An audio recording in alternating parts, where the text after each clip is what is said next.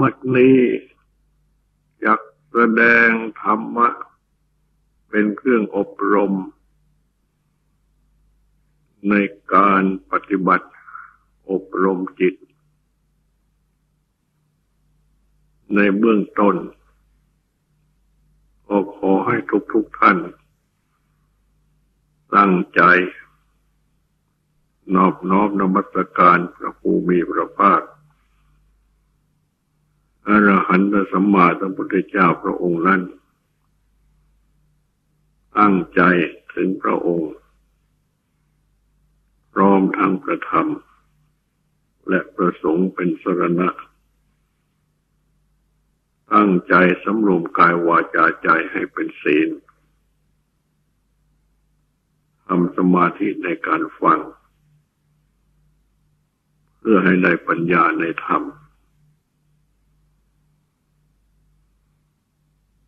ได้แสดงอาณาปานสติ สติกำหนดลมไม่ใจเข้าออก ในชั้น กายานุปัสสนา สติปัฏฐาน ตั้งสติพิจารณากายสี่ชั้น แล้ว และเมื่อ ถึงชั้นที่สี่นี้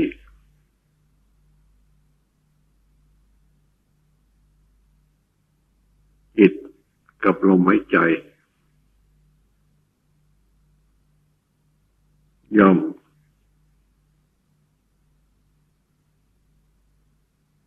รวมกันอยู่ ร้อมกับกายทั้งหมด ใจทั้งหมด ซึ่ง สงบตั้งมั่น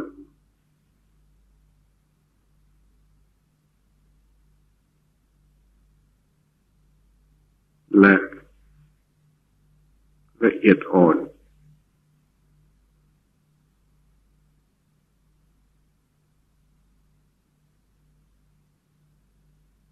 จิตได้สัมผัส กับสติ และสมาธิ อย่างดียิ่ง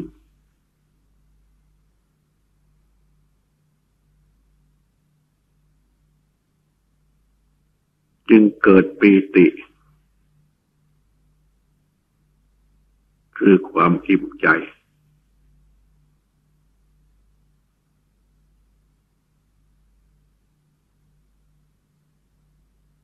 ก่อนแต่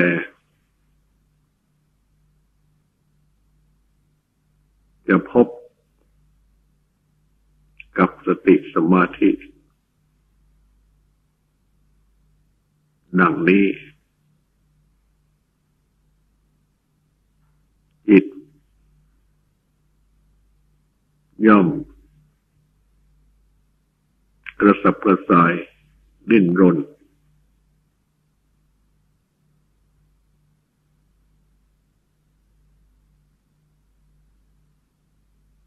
อยู่กับอารมณ์ต่าง ๆ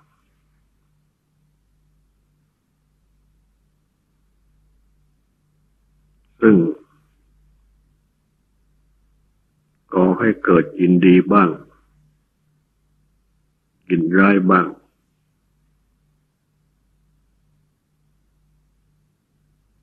หลงสยบติดอยู่บ้าง ซึ่งอะไรอะไรในโลก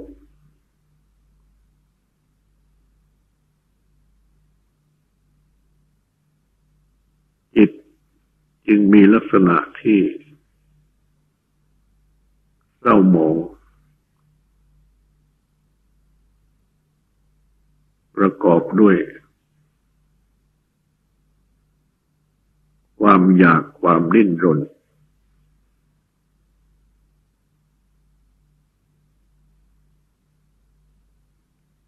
อันทำให้จิตใจ แห้งแรงไม่แช่มชื่น แต่เมื่อมาพบกับสติกับสมาธิ รวมอยู่กับกายใจทั้งหมด กับลมหายใจ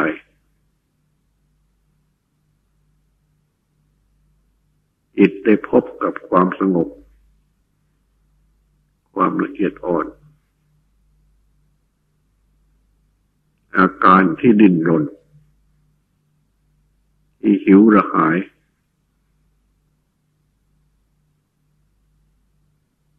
กระสับกระส่ายก็สงบไป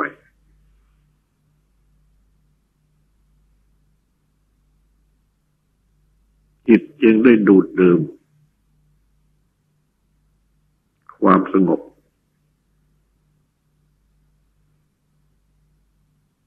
ความบริสุทธิ์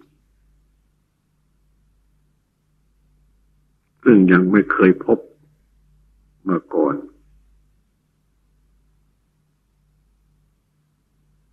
จึงได้ความดูดดื่มใจ อิ่มใจสงบใจ แต่ก่อนนั้น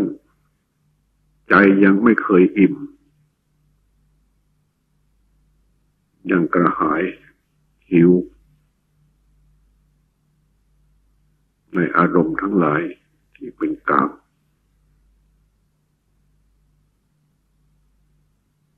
แต่ครั้นสงบได้ด้วยสติสมาธิกายใจลมหายใจ รวมกันอยู่ ได้ดูดดื่มความสงบ จึงมีความอิ่มใจ ใจที่หิวระหาย กระวนกระวายก็หาย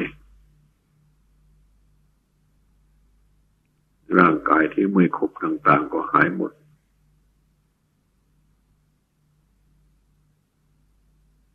ปีติจึงมึงเกิดขึ้น เป็นความอิ่มใจ ซึ่งปีตินี้ ท่านแสดงไว้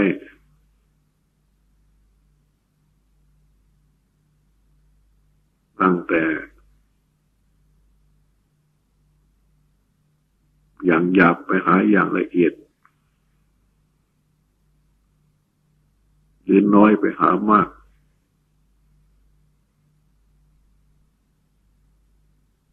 หรือเบื้องต้นก็จะได้ ขุตกาปิติปิติอย่าง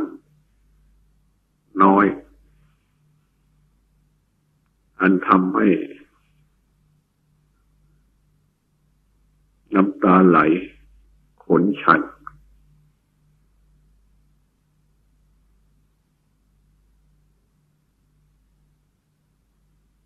เมื่อแรงขึ้น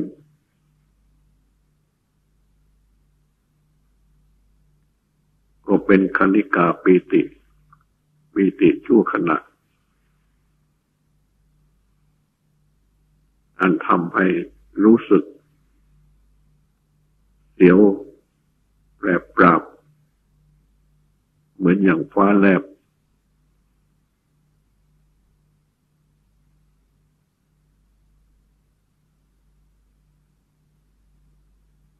ยิ่งขึ้น ก็เป็น โอกันติกาปีติปีติเป็นพักๆ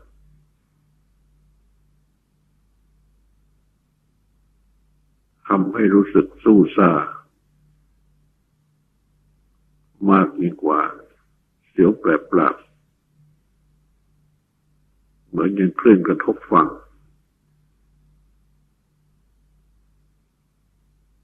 แรงขึ้นอีก ก็เป็นอุเพงคาปีติ ปีติอย่างโลดโผนทำให้ใจฟูจนถึงบางคราวทำให้เปล่งอุทานขึ้นมา โดยที่ไม่ได้เจตนามาก่อน หรือทำให้กายเบา กายลอย กายโลดขึ้น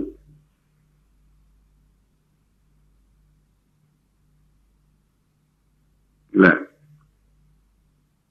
อย่างแรง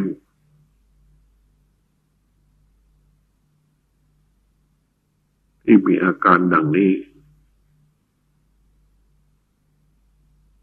แต่ไม่ละเอียด ที่ยิ่งกว่านั้น ก็เป็นปีติอย่างแรงแต่ละเอียด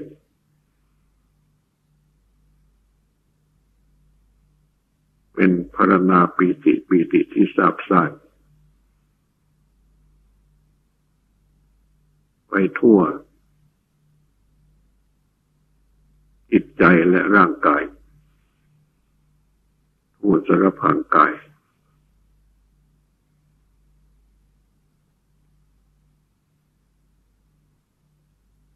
เมื่อปีติบังเกิดขึ้น ก็ให้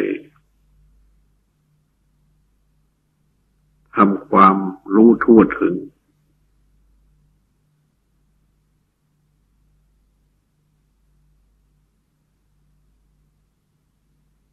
ปีติที่มันเกิดขึ้นนั้น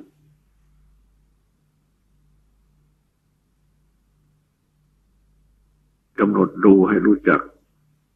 ปีติที่มันเกิดขึ้นนั้น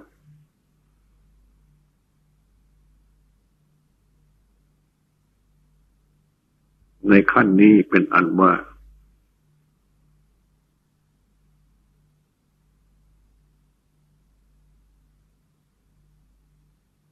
กายานุปัสสนาสิปทาน ซึ่งเต็มขั้น ก็เลื่อนขึ้นมาเอง เป็นเวทนานุปัสสนาสิปทานสติที่ พิจารณาเวทนากำหนดเวทนา อันได้แก่ ความรู้สึกที่เป็นสุขเป็นทุกข์หรือเป็นกลางกลางไม่ทุกข์ไม่สุข ปีตินี้ก็เป็นเวทนาอย่างหนึ่ง ซึ่งมันเกิดขึ้น แก่ผู้ปฏิบัติ สติปัฏฐาน หรือปฏิบัติสมาธิ แม้ในกรรมฐานบทอื่น เมื่อ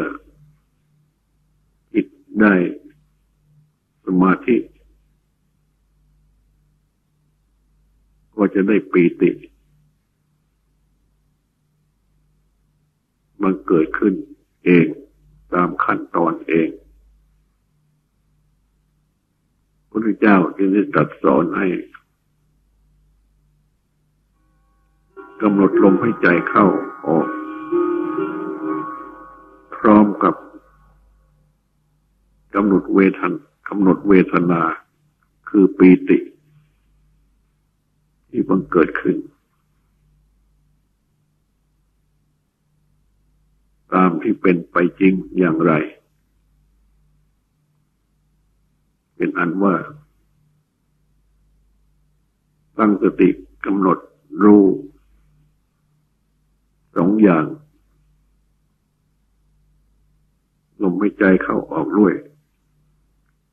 ปีติที่มันเกิดขึ้นด้วย และเมื่อได้ปีติดังนี้ ก็ย่อมจะได้สุข ที่สืบเรื่องจากปีติ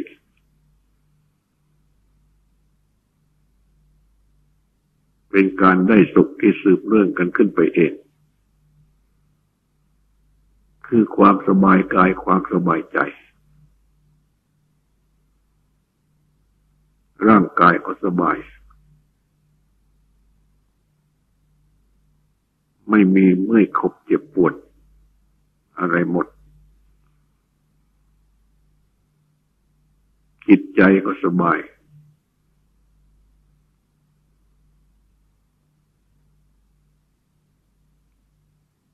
และสงบ กายสงบ ใจ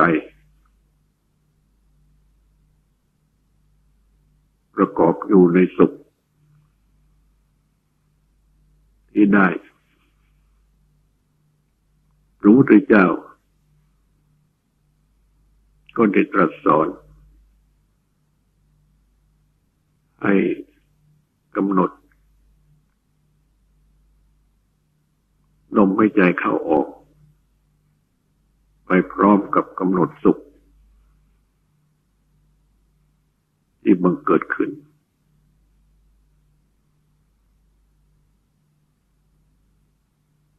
เป็นอันว่า ได้เลื่อนขึ้นสู่ขั้น เวทนานุปัสสนาสิปทาน ตั้งสติกำหนดตามรู้ตามรู้ ตามเหตุเวทนา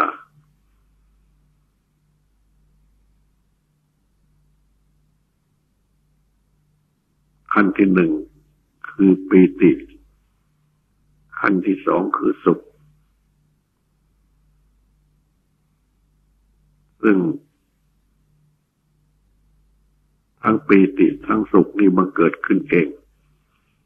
มันเกิดขึ้นจริง ตามลำดับและในการปฏิบัตินั้นก็ให้ศึกษาสำเนียกกำหนดว่าเราจะรู้ทั่วถึงปีติให้ใจเข้าให้ใจออก เราจะรู้ทั่วถึงสุขให้ใจเข้าให้ใจออก เป็นอันว่าทั้งสองขั้นนี้ ก็ให้ศึกษาคือสำเนียกกำหนดว่าอยากรู้ทั้งสอง เวทนาขั้นที่หนึ่งก็ให้รู้ทั้งลมหายใจเข้าลมหายใจออก และปีติที่มันเกิดขึ้นตามที่เป็นจริง และเวทนาขั้นที่สองก็ให้ศึกษาสำเนียกกำหนดรู้ลมหายใจเข้าลมหายใจออกพร้อมทั้งสุขที่มันเกิดขึ้นตามเป็นจริง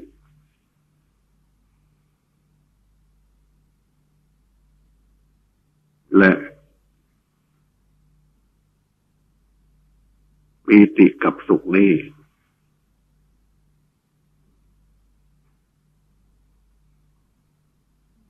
เมื่อมันเกิดขึ้น ก็ทำให้จิตใจนี่เพลิดเพลินอยู่กับปีติ เพลิดเพลินอยู่กับสุขได้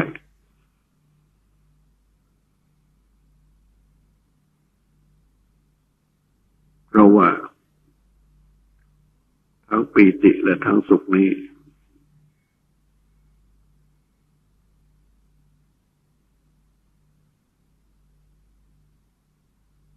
เป็นสุขเวทนาด้วยกัน ซึ่งพระพุทธเจ้าตรัสเรียกว่า เป็นจิตสังขาร เครื่องปรุงจิตคือสัญญาและเวทนา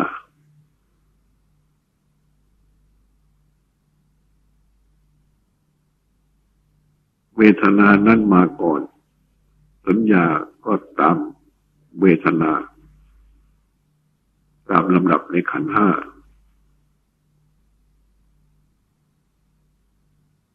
คือเมื่อเวทนามันเกิดขึ้น เป็นเวทนา ก็จำได้หมายรู้ ในเวทนาก็เป็นสัญญา จะเรียกเอาสัญญาออกหน้าเป็นสัญญาเวทนา ทั้งสองนี้ เป็นจิตสังขารดังกล่าวเครื่องปรุงใจ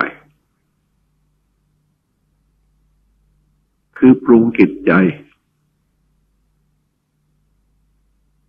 ให้ยินดีก็ได้ ให้ยินร้ายก็ได้ เมื่อเป็นปีติเป็นสุข ก็เป็นสุขเวทนาด้วยกัน ก็ปรุงใจให้ยินดี อันทำให้เกิด ราคะคือความติดใจยินดี นันทิคือความเพลิดเพลินติดอยู่ และทำให้เกิดตัณหา ความอยากได้ความต้องการสุขเวทนา แต่ถ้าหากว่าเป็นทุกขเวทนา ที่ตรงกันข้าม ก็เป็นจิตสังขารปรุงจิตใจให้ยินร้าย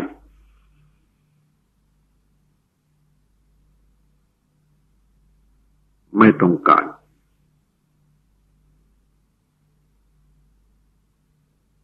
ในการปฏิบัติกรรมฐานนี้ เมื่อเริ่มปฏิบัติ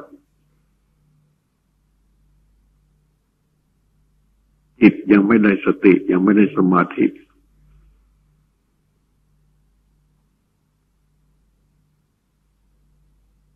ย่อมเกิดทุกขเวทนาในการปฏิบัติ ฉะนั้น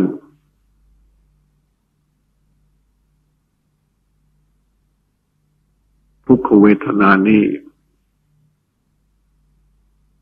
ยังเป็นจิตสิงจิตสังขารปรุงจิตใจให้ยินร้ายทำให้ไม่ชอบ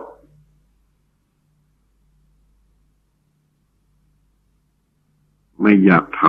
ำอยากเลิก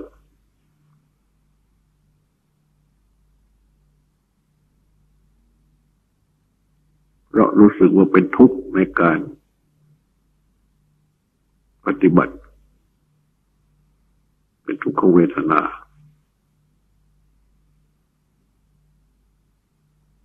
จิตจึงใกล้ที่จะสลัดกรรมฐานออกอยู่เสมอ จิต มักตกออกไปสู่กามคุณอารมณ์ อันเป็นที่อาศัยของจิตที่เป็นกามาพจร อย่างลงในกาม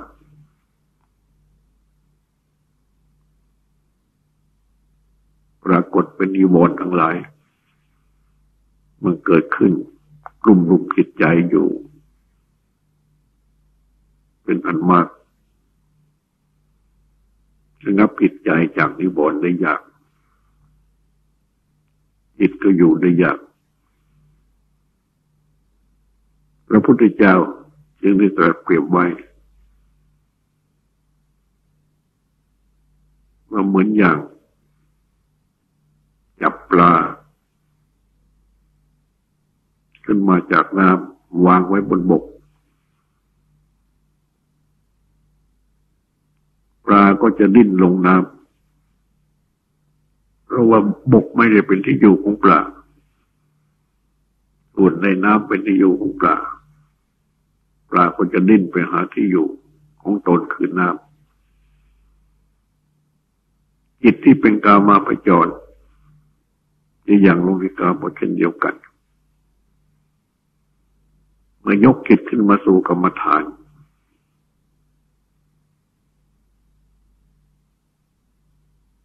ซึ่งไม่ใช่เป็นที่อยู่ของจิตมาแต่ก่อน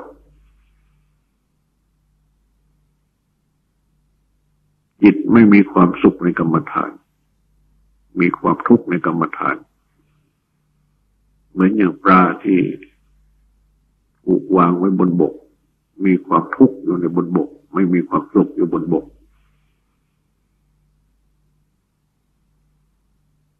จิตจึงได้รินรน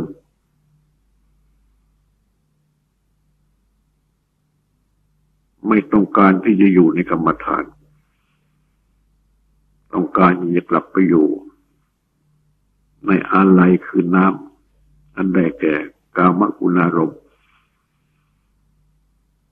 อันเป็นที่อยู่ของจิตที่เป็นกามาพจรหรือยังลงในกรรมของสามัญชนทั่วไป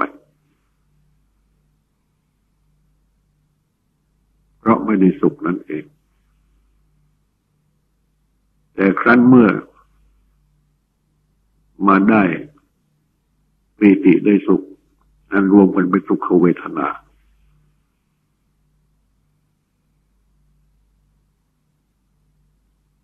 จิตก็สบาย เมื่อสบายก็ชอบ ก็ติดใจ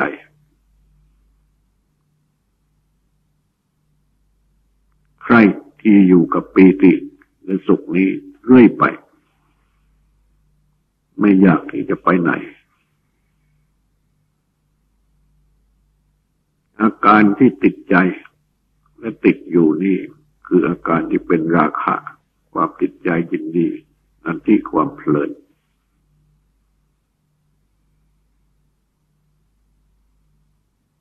และอาการที่สยบติดก็เป็นอาการของโมหะคือความหลงทำให้หลงอยู่ในสมาธิ คือหลงในปีติสุขในสมาธิ ติดในปีติสุขสมาธิ เพราะเหตุที่ปีติและสุข เป็นจิตสังขาร คือเครื่องปรุงจิตให้ติดให้ยินดีดังนี้ พระพุทธเจ้า จึงได้ตรัสสอนให้พิจารณา ต่อขึ้นไปอีกว่า ให้ศึกษา กำหนดสำเนียกว่าเราจะรู้ทั่วถึงจิตสังขาร คือให้รู้ทั่วถึงปีติสุขที่กำลังบังเกิดขึ้นอยู่ ว่าเป็นจิตสังขารขึ้นปรุงจิต หายใจเข้าหายใจออก คือให้รู้จักปีติให้รู้จักสุขว่าเป็นจิตสังขารขึ้นปรุงจิต ให้ติดใจให้ยินดี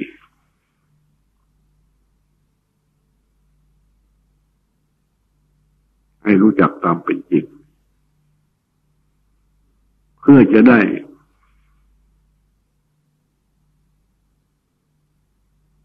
ไม่ให้ถูกปรุง ไม่ให้ติดใจ ไม่สยบติด อยู่กับปีติกับสุข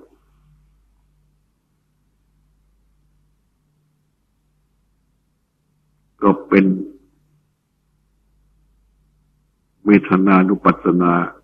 ขั้นที่สามคือให้รู้จักจิตสังขาร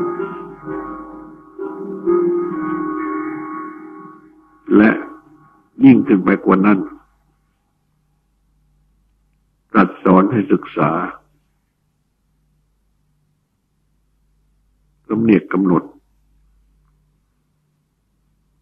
อีกขั้นหนึ่งเป็นขั้นที่สี่ว่า เราจะสงบระงับจิตสังขารเครื่องปรุงจิต คือปีติสุขให้ใจเข้าให้ใจออก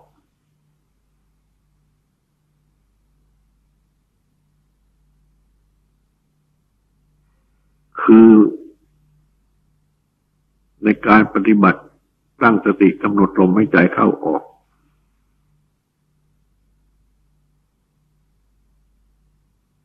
ให้ปฏิบัติพร้อมกันไปกับ ตั้งจิตสงบระงับ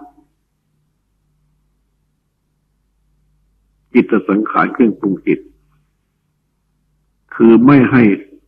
ปีติสุขมาปรุงจิตให้ติดกินดีให้เพลิดเพลิน ให้ต้องการปล่อยให้ปีติสุขนั้นเป็นไปตามธรรมดาของตนเอง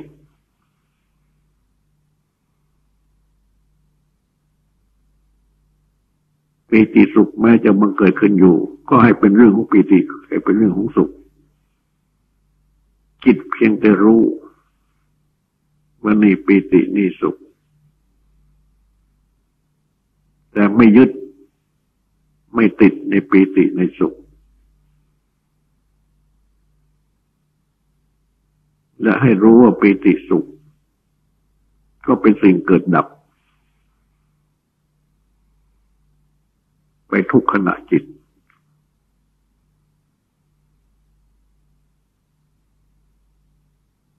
ไม่ตั้งอยู่ยั่งยืน แต่ว่ามันเกิดขึ้นต่อเนื่องทุกขณะจิต จึงเหมือนอย่างยืดยาวแต่ความจริงนั้นปีติสุขมันเกิดขึ้นทุกขณะจิตขณะจิตหนึ่งก็ปีติสุขหนึ่งไปพร้อมกัน แต่ว่าต่อต่อต่อกันไป โดยรวดเร็วยังเหมือนเป็นอันเดียวกัน ให้รู้จักว่าปีติสุขเป็นสิ่งที่เกิดดับ เพื่อไม่ให้ปีติสุขปรุงจิตดังกล่าวปีติสุขก็จะไม่ปรุงจิต แต่จะเกิดขึ้นและดับไปตามธรรมดาของปิติสุขเอง ก็ปล่อยให้ปิติสุขเป็นไป ไม่ต้องคิดดับปิติ ไม่ต้องคิดดับสุข ให้ปิติสุขเกิดขึ้นนั่นแหละ ไปตามธรรมดาของปิติสุข เพราะว่าถ้าไม่มีปีติสุข จิตก็เป็นสมาธิไม่ได้ เพราะจิตไม่ต้องการอยู่กับความแห้งแล้ง จิตต้องการอยู่กับความชุ่มชื่นหรือความสุข ตัวปิติสุขนี้ จึงเป็นฐานของสมาธิด้วย แต่ในขณะเดียวกันก็มีโทษถ้าปล่อยให้ปิติสุขนี้ ปรุงจิตให้ติดใจยินดี ให้อยากได้ ก็จะทำให้หลงไหลติดอยู่กับปีติสุขเท่านั้น ไม่ต้องการจะปฏิบัติให้คืบหน้าไป เหมือนอย่างเข้าหักเข้านั่งพักในห้องเย็น สบาย ก็เลยนอนหลับสบายไปในห้องเย็นนั้นงานอะไรที่จะต้องทำต่อไปก็เป็นเราไม่ได้ทำ ปฏิบัติสมาธิก็เหมือนกันอย่าปล่อยให้จิตสยบติดอยู่กับปีติสุขนั้นไม่ได้ แต่จะไม่มีปีติสุขก็ไม่ได้ จะต้องมีปีติสุขหรือต้องมีสุข สมาธิจึงจะตั้งอยู่ กับความสุขคือความสบาย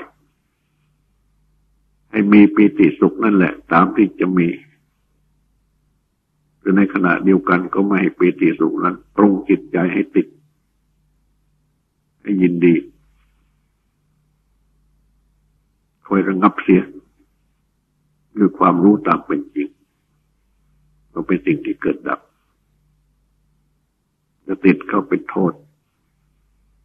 ให้รู้ความเป็นจริงด้วย ให้รู้จักโทษด้วยในการที่ติด ปีติสุข ให้ปีติสุขตรงจิตก็เป็นขั้นที่สี่ ในเมื่อ ถึงขั้นที่สี่นี้ปีติสุขก็จะปรุงจิตไม่ได้จิตก็จะเป็นจิตที่ได้สมาธิได้สติ ได้ลมหายใจเข้าออก ได้ปีติได้สุข ประกอบกันอยู่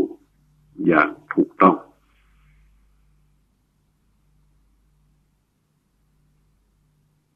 ก็เป็นอันว่า เป็นเวทนานุปัตนาในขั้นที่สี่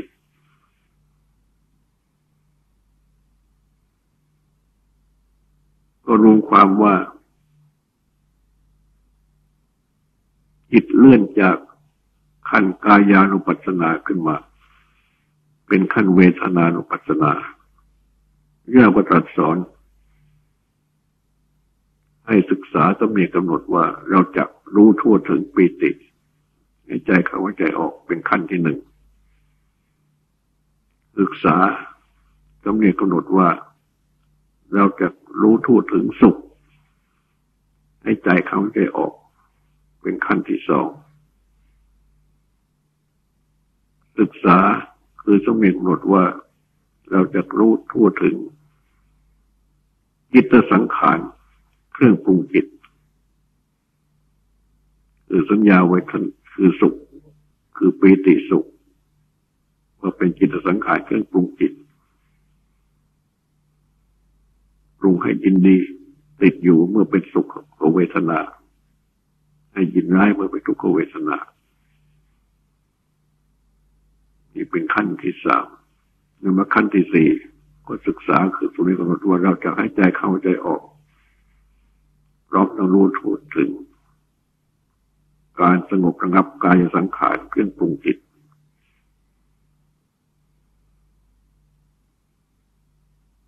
เมื่อสงบระงับจิตสังขารได้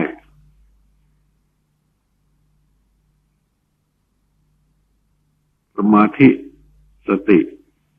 ลมหายใจเข้าออกปีติสุข ก็ประกอบกันอยู่ อย่างถูกส่วน โดยไม่ปรุงกัน แต่ว่าสนับสนุน ในการปฏิบัติปฏิปทานปฏิบัติสมาธินี้ให้แนบแน่นยิ่งขึ้น กายมนสิการในลมหายใจเข้าออก ในขั้นนี้ก็แนบแน่นยิ่งขึ้น และพระพุทธเจ้าก็ตรัสไว้ว่า กายมนสิการลมหายใจเข้าออก อย่างดีคือการใส่ใจลมหายใจเขาออกไว้เป็นอย่างดี นี่แหละเป็นตัวเวทนานุปัสสนาธิปทาน อันเป็นผลที่ได้จากการปฏิบัติมาในสี่ขั้นนี้ จึงรวมเป็นกายานุปัสสนาสี่ขั้นเวทนานุปัสสนาสี่ขั้นเป็นแปดขั้นต่อกัน ขึ้นไปเอง ต่อไปนี้ขอให้ตั้งใจฟังสูตรและตั้งใจสังวรสงบสืบต่อไป